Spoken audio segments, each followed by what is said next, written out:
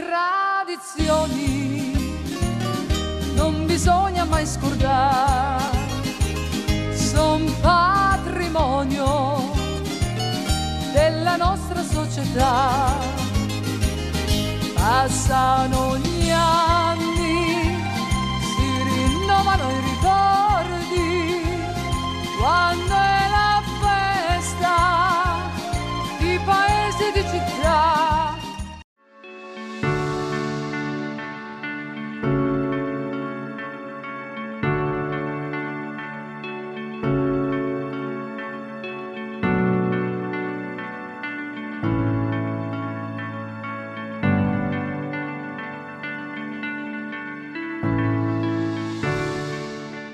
Carissimi amici di Musica e Tradizioni, buon pomeriggio a tutti voi e ben ritornati a Sant'Ambrogio di Torino in compagnia di Roberta, archeologa che solo lei potrà parlarci nei dettagli di questo luogo incantato, il luogo più antico del, del paese dove sorgeva un tempo il castello. Questi sono i resti del castello ad oggi che ospitano un sacco di altre cose che scopriremo proprio grazie a te. Allora, raccontaci un po' di queste mura esterne che ci aprono a una meraviglia che si estende poi anche dentro e sui terrazzi.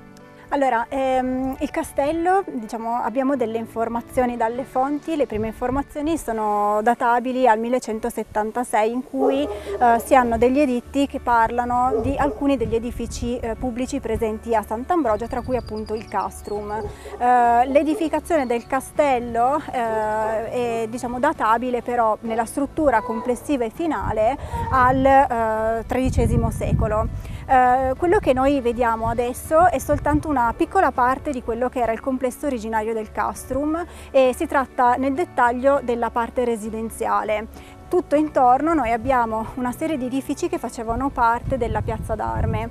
Eh, la struttura eh, è stata ristrutturata nei primi anni 2000 e ospita attualmente una, una struttura ricettiva con ristorante e bed and breakfast e ehm, quello che noi vediamo è il fronte di accesso sul lato ovest eh, del, del, della della struttura residenziale. Eh, si nota benissimo eh, l'antica merlatura, nella parte più alta abbiamo una ristrutturazione recente, mentre eh, osserviamo su, direttamente sopra il, il portale d'ingresso eh, vediamo la bertesca d'angolo e la coditoia piombante. Entrambe le strutture sono in mattoni, questo è un dato molto interessante perché fino al 1200-1300 veniva utilizzato come materiale da costruzione solo ed esclusivamente la pietra, il mattone veniva utilizzato invece per elementi decorativi e lo vedremo sul lato del castello e gli stessi elementi decorativi si ritrovano sulle mura e nella torre comunale.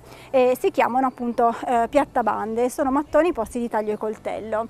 Eh, elementi caratteristici diciamo sono quella stilatura che si vede, c'è una malta che ricopre eh, il, i filari di mura eh, de, di pietre e eh, sono stilati, cioè vuol dire che c'è questa leggera impressione fatta con uno stilo a separare un filare dal successivo.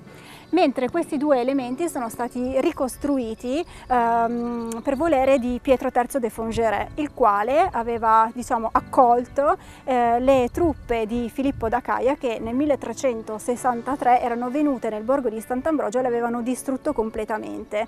Eh, Pietro III non era un abate particolarmente amato, proprio per questo nel 1368 ha fatto ricostruire le mura e parti del castello e questi sono i due elementi eh, di quel periodo che appunto sono indicativi della ristrutturazione. Bene, allora se noi ci avviamo invece all'interno di queste mura potremo andare a scoprire ancora ciò che resta di questa storia importante che tu ci hai appena raccontato. Quindi ti seguo così mi fai da, okay. da Cicerone in questo viaggio di scoperta proprio oltre le mura del castello.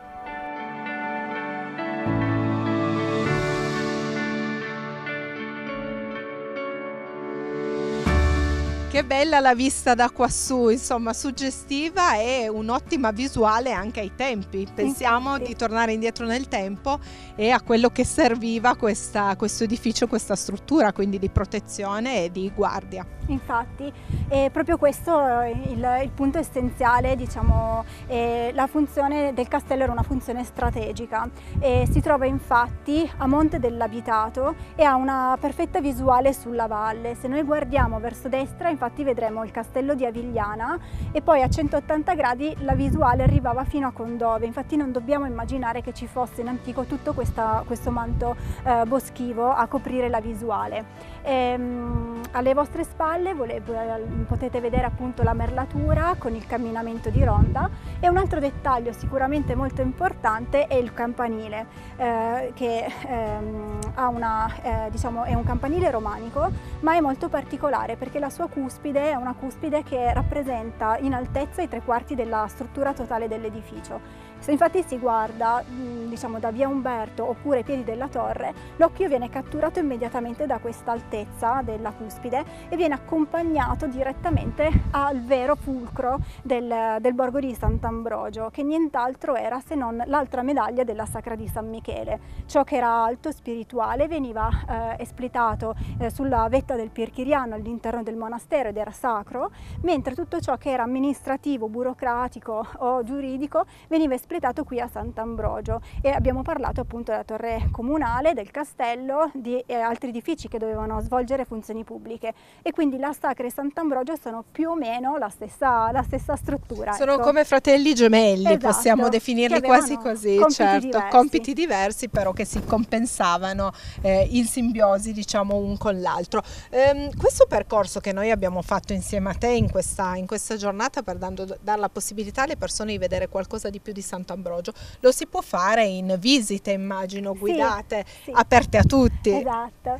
Allora sì, io eh, da anni collaboro con il Comune di Sant'Ambrogio e ehm, organizzo delle visite guidate, circa una al mese, e accompagno i visitatori al castello, alla torre, nelle torri perché saliamo su al campanile, alla torre comunale e poi anche all'interno delle corti. Vedremo anche le antiche mura e le fontane, insomma un sunto di quello che abbiamo presentato ma con che dura anche un po' di più, in alcuni casi anche tre ore. Ed è giusto che sia così perché molti, io sono, mi, mi comprendo in questi molti, insomma, siamo abituati a vedere un po' Sant'Ambrogio come ehm, il forziere di quello che poi è la Sacra di San Michele, no? un po' l'involucro della Sacra di San Michele. In realtà stiamo scoprendo in questi giorni che c'è molto di più da vedere proprio qui ai piedi prima di salire eh, in alto verso, sì. verso, la Sacra. Quindi ti, ti ringrazio e proseguiamo il nostro percorso insieme.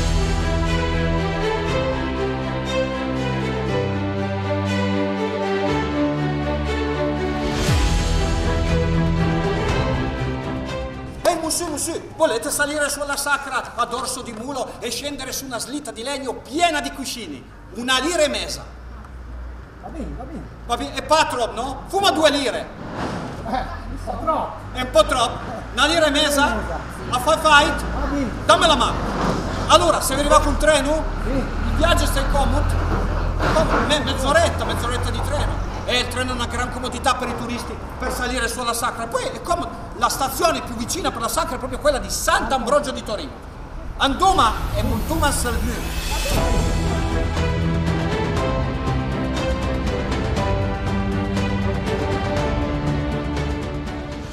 L'ho riportato indietro dai tempi antichi perché lui non è reale, cioè proprio un personaggio dei tempi, lui e tutti, tutta la sua ciurma.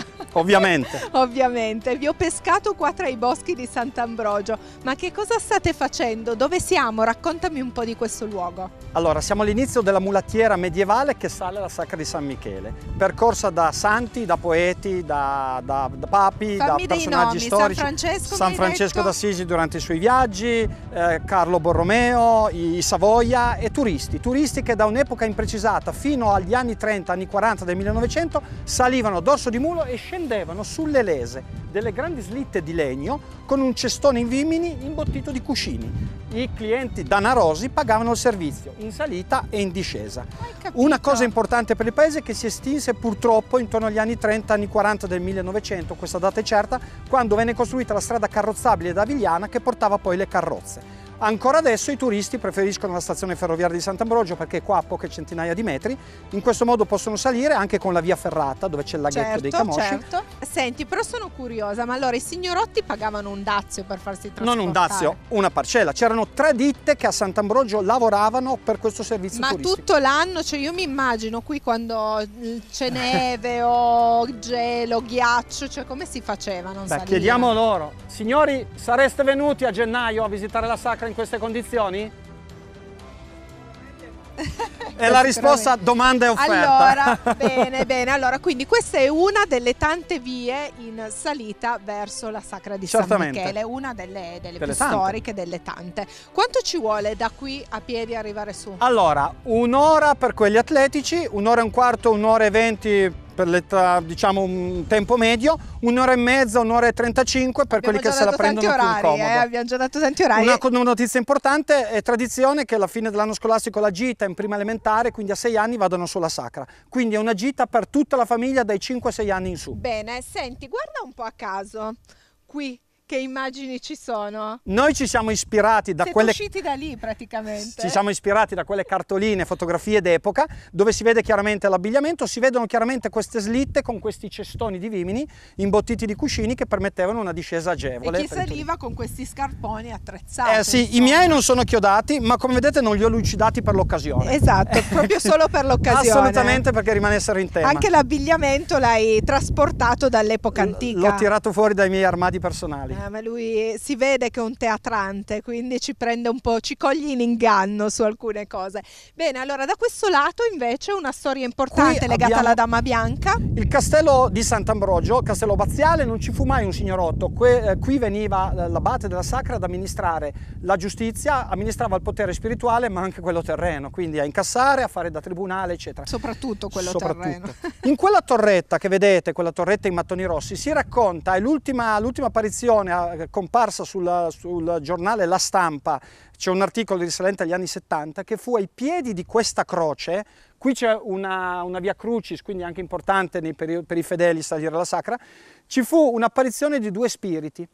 E questi due spiriti sono attribuibili alla dama bianca e al suo amato. Si racconta che in periodo medievale la dama che viveva in questo castello fosse innamorata di un popolano, di un paesano. Il castellano ovviamente questo lo maldigeriva, senza dirgli nulla il castellano lo fece torturare, lo fece uccidere e gli cucinò il cuore, qualcuno dice trifolato, impanato, Alla Dama si so, Bianca? alla dama bianca. Non scherzare. La dama bianca mia. mangiò questo piatto sopraffino, dopo che lo mangiò il castellano gli disse sai amata mia, ti sei appena divorato il cuore Del tuo po- amato." del tuo amato. La dama disse se le mie labbra, se la mia bocca hanno toccato un cibo così pregiato, d'ora in avanti non toccheranno più nessun altro cibo. E si lasciò morire all'interno, di all'interno questa del torre. E allora ancora oggi la leggenda narra che questa dama bianca faccia le sue passeggiate fin su alla sacra. L'ultima apparizione così racconta, c'è un articolo sulla stampa, ripeto, degli anni 70, dove eh, due spiriti qua abbracciati vi- furono visti ai piedi di, di questa Piacerebbe croce. anche vedere questa dama bianca camminare quassù. È no? dipinta su una Sarebbe anche delle... romantica l'immagine. È dipinta, come tante altre leggende del paese, su molte serrande del paese. Non so se avete fatto caso, se ve l'hanno fatte E notare. anche un po' il simbolo è diventato. un quindi. po' una maschera assieme alla Bellalda. La Bellalda è quella giovinotta che si è Che lanciata dalla torre parleremo, ne parleremo. per scampare da, da da- da violenza certa, diciamo. esatto. Bene, allora io ti ringrazio, intanto vi lascio proseguire il vostro percorso proprio Assolutamente. Io sì. ritorno v- nelle vie più facili e Io voi ringrazio. adesso invece vi fate tutto il vostro Io percorso. ringrazio voi. Eh, come va la schiena? Fa male Aldarera?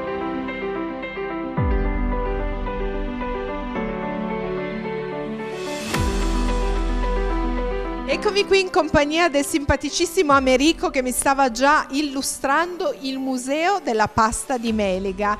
Allora, eccoci qui, partiamo subito con il primo attrezzo, forse il più antico, che serviva per fare il burro. Perfetto, una vecchia famiglia di, di Sant'Ambrogio mh, ce l'ha donato e noi siamo ben felici di esposto. esporlo. Proseguiamo perché facciamo una zoomata veloce anche perché vogliamo incuriosire i telespettatori. Qui è una sgranatrice che è già abbastanza moderna che usavano per sgranare il grano turco. Poi andiamo avanti, No, fine dell'Ottocento, vedo. abbiamo una macchinetta che fine 800 che è piccolissima e la spingevano così con la mano come si fa ancora adesso o si spinge con la pancia come quella che è un'altra donazione fatta da un altro Sant'Ambrogese. Che serviva per sgranare la pannocchia No, praticamente. no, no, no, questo serve per fare proprio la pasta di meliga. Ah, ok, per Qui lavorare già la esce- pasta. Esce, dopo averla impastata, esce questo serpentello con tutte le sue punte e la, la madamin La e piega forma. e la mette nella teglia da mettere in forno. Queste sono tutte macchine, cose che ho fatto io. Ah perché tu sei io anche un inventore. meccanico, sì, io Ah. sono un meccanico. Sei l'Archimede di Sant'Ambrogio diciamo praticamente. che ecco, mi diletto molto e allora ho un po' eh, la stella è comune, tutte uguali, quelle che vedrete, perché è un- una misura sola. Può avere solo quella misura perché la pasta di melica deve avere un peso suo, deve- non deve superare i 17 grammi. Deve essere leggera. Perché i vecchi panettieri mi hanno detto, quelli che li conoscevano, che non le pesavano, ne prendevano 6 e in 6 ce ne stava un etto. Ah, ecco, e quindi sapevano già. Dovevano pesare dai 14 ai 17 Senza grammi. necessità di pesare, quindi era un Perfetto, lavoro fatto in perfetto, modo perfetto, manuale. Ma perfetto. tu che sei un inventore di questa strumentazione per creare le paste di melica, sei anche capace a farle o no? Certo, Ah, le certo. fai? Ok. E vi faccio- posso far vedere allora. Una delle mie creature più belle è questa perché ne fa una sola. Fa una pasta di melica di 17 grammi. Io l'ho montata girando. Quelle sono le paste di melica che faccio io. Ah, queste qui, mamma mia, sei un diavolo tentatore Ecco, a mettermele lì certo. così in esposizione. Vedremo nello scritto, in molti scritti, c'è scritto del nostro vino di Sant'Ambrogio. Il nostro vecchio vino. Abbiamo ancora una vigna nella zona dei Bertassi Storica, quindi. che si chiama Carcairun. Ci sono uno o due vigne, signori che lo fanno ancora. È un vino Ma ancora attiva, sì, quindi? ma di 6 gradi. È un vinello non è da neanche, fine Non si basso. può neanche chiamare vino. È un, un vino d'uva, ma ecco, e si chiama Carcairun. Io ho la fortuna di avere una bottiglia del 2000 che tengo lì. Vedo, bella impolverata Bella come impol- si, si come Dio usa comanda. per le bottiglie Certo. importanti. Niente, abbiamo avuto l'onore a Sant'Ambrogio, nei tempi dei tempi, di aver, che sia passato Cavour, che lui era un amante della pasta di melica. E si vede perché era anche bello rotondino, Certamente, quindi abbiamo capito che era un estimatore delle paste dolci e del buon vino. Il, il bicchiere del, del vinchinato. Ecco, qui andiamo sempre sulla modernizzazione. Quella invece è una sgranatrice eh, che abbiamo recuperato in una cascina, mio fratello, e la- e io l'ho presa come l'ho trovata nel granaio, l'ho messa.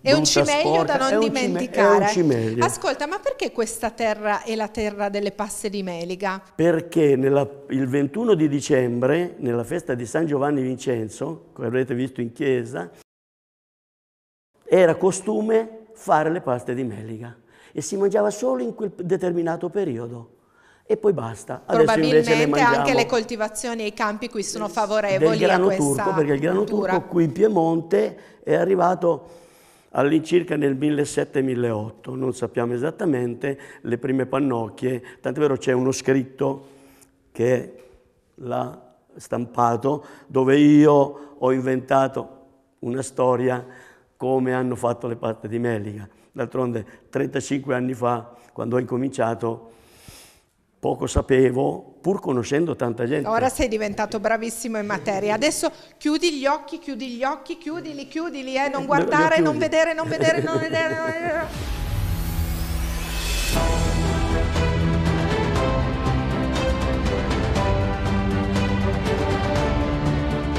Eh, Simone, ciao. Ciao. sei pronto a farci vedere una ricetta, Sì. a parlarci di un piatto tipico che vengono a Certamente. mangiare qui da voi?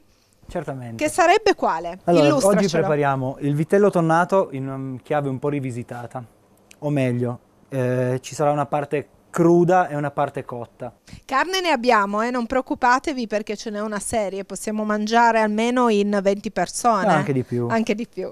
E come per magia il girello è pronto e cotto per tutti voi e non resta che impiattare. Allora, ti, guarda, ti metto al lavoro direttamente, Perfetto. ti lascio andare lì al tuo piano tranquillo. Allora andiamo a vedere insieme la preparazione del vitello tonnato. Allora, detto così, il vitello tonnato sappiamo essere uno dei piatti principi della cucina piemontese, già un po' visto e rivisto, ma qui l'hanno rivisitato, ovvero lo preparano in un modo del tutto particolare. Eh, la carne ovviamente ha una cottura di quanto più o meno la vedo Poco in abbastanza realtà, è rosa. abbastanza sui 12 minuti circa in E forno. quando la fai cuocere metti anche delle eh, verdure, che cosa unisci nella cottura della carne? Facciamo una cottura, eh, diciamo, alla maniera vecchia, o meglio, cotta in, eh, come un arrosto, con delle verdure che poi vengono frullate per creare la salsa. Ah, quindi utilizzerai queste verdure della cottura della carne all'interno della salsa, che quindi non è una maionese. Non è una maionese perché le uova sono cotte e in realtà noi usiamo solamente l'albume cotto dell'uovo, mentre il, il tuorlo verrà poi spolverato sopra per decorare. Allora, a vederla così mi ricorda un po' il colore della senape. Beh, questo è dato dal fondo di cottura delle- della carne, i succhi quando caramellano. Ok, allora quindi mh, la ba- so che non vorrai svelare proprio al 100% quello che c'è all'interno di questa, che non chiamiamo maionese ma chiamiamo salsa. È una quindi. salsa simil tonnata. Perché Non tonnata? Non tonnata perché non c'è neanche il tonno suo È interno. l'uomo del mistero lui, perché allora è una cosa non c'è e un'altra non c'è, un'altra la aggiungiamo dopo, quindi diventa complesso anche capire la ricetta. Bravo, l'hai fatto apposta per noi, Certamente. sapevi. Sapevi che poi volevamo carpire i Per non- segreti del per tuo non mestiere. svelarli. Allora, prego, procedi pure. Intanto mi piace già l'idea di impiattarlo in questo piatto allungato, molto molto carino. Allora, questa salsa che dicevamo avere come base verdura del fondo cottura della carne. Esattamente, suoi- qualcosina dei succhi di cottura e l'al- l'albume dell'uovo sodo, capperi e acciughe come è classico mettere nella salsa Viene tonnata. frullato tutto, Tutto quanto frullato. insieme, poi messo a riposo per un po' nel frigorifero. No, in realtà si può usare anche subito, basta che sia, le verdure si- sono fatte raffreddare perché prima. è abbastanza consistente come, come salsa, non, non resta troppo Questo morbida. è un po' per l'uovo che aiuta a legare e un po' per le verdure che sono abbastanza asciutte. Senti, ma adesso sono curiosa, quei pezzettini di cosa sono? Pancetta? Questo è tonno, Tonno? tonno cotto in olio cottura a bassa temperatura, che così che rimanga abbastanza rosa. Quindi utilizzi un filetto di tonno? Sì, esatto, un trancio di tonno e poi condito con un goccio di salsa di soia, olio e sale. Ah, salsa di soia perché dà un gusto... Un po' più orientale. Ho capito, quindi questo lo andrai a mettere dove? Al di sopra del piatto? piatto, al di sopra della salsa. Questa è veramente un- una chicca perché non avevo ancora mai visto il vitello tonnato piemontese servito in questo modo. Quindi il tonno, anziché frullarlo all'interno della salsa, lo andiamo a sovrapporre alla cremina che hai messo precedentemente sulla carne. Che bello anche da vedere, coreografico. Eh, Ma no, ormai, ormai l'occhio, esatto, vuol mangiare prima della bocca, vero? C'è sempre necessità di creare i piatti più belli. E poi concludiamo Con- con, Questo è il tuorlo dell'uovo sodo, sbriciolato, passato al setaccio. che quindi non l'hai messo prima all'interno della salsa perché ci giochi adesso. esatto, così dà un po' di colore. Sembra quasi un fiore. Sarà un fiore per la dama bianca. Si vede che questa sera sarà a cena anche lei e quindi hai creato Speriamo un di piatto no, particolare. ecco, e questo è il E piatto è il praticamente, il risultato finale. Dov'è che ti sei ideato la ricetta di questa salsa? Cioè provando per tentativi e per errori per fare qualcosa di In diverso? realtà è la salsa originale, diciamo quella con l'uovo e il tonno, è proprio la ricetta classica di queste zone, con, eh, cotto appunto come un arrosto con le sue verdure frullate. Modificata un pochino in base anche ai miei gusti e, e alle, conoscenze acquisite negli anni. Bene, allora io ti ringrazio. Guardate che meraviglia, facciamolo vedere a favore di camera. Ecco, bravo. Dalle tue mani sapienti, ottime qui in cucina. E noi passiamo ad altro. Andiamo insieme a voi a vedere e curiosare in altre cucine. Grazie mille. Grazie a voi. Ed eccomi qui in compagnia di Roberta. Ciao, grazie per averci aperto le porte di un altro eh, monumento importante di questa città, ovvero la torre, la torre comunale. Al dietro di noi, proprio qui in questa parete imponente, vediamo eh, dei dipinti particolari che narrano sicuramente una storia speciale. Ora sarai tu la voce di questa storia. Ok, allora eh, alle nostre spalle troviamo un affresco che si sviluppa su tutta la parete ehm, ovest della torre comunale. La torre comunale è un grande edificio a pianta quadrata, è stato ristrutturato negli anni, nel 1995. Dovete sapere che la torre doveva essere demolita, ma la soprintendenza eh, ha preferito visionare l'interno della, della struttura e ha notato che erano presenti, eh, sono rimasti praticamente al di sotto dell'intonaco dei lacerti di di, pittura.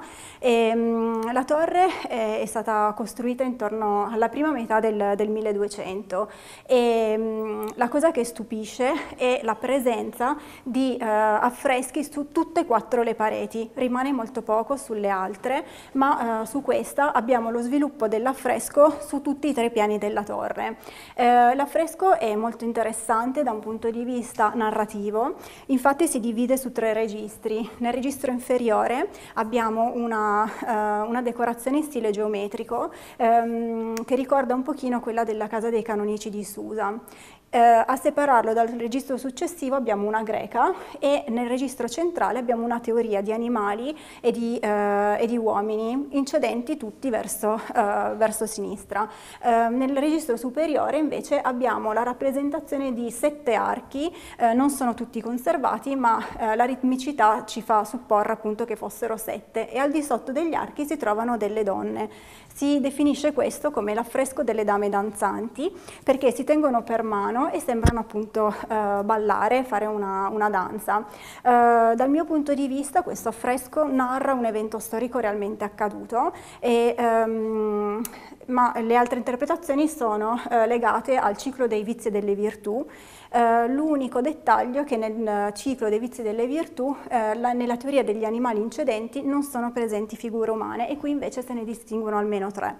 Um, l'interesse per questo affresco, oltre per eh, diciamo, il ciclo narrativo che, eh, che, ritrae, è legato al fatto che abbiamo una camera pinta all'interno di un edificio datato alla prima metà del 1200.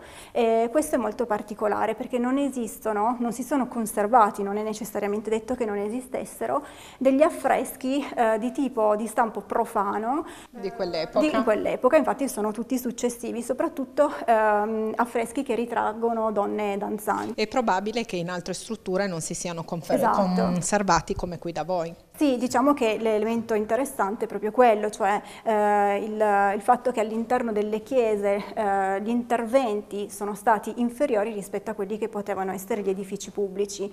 Qui probabilmente c'era o il broletto oppure da fonti storiche che, eh, e documenti che ci sono pervenuti poteva essere un edificio adibito a funzioni giuridiche, legislative o amministrative. Non abbiamo la certezza di quale eh, esercizio fosse eh, praticato qui eh, all'interno della torre.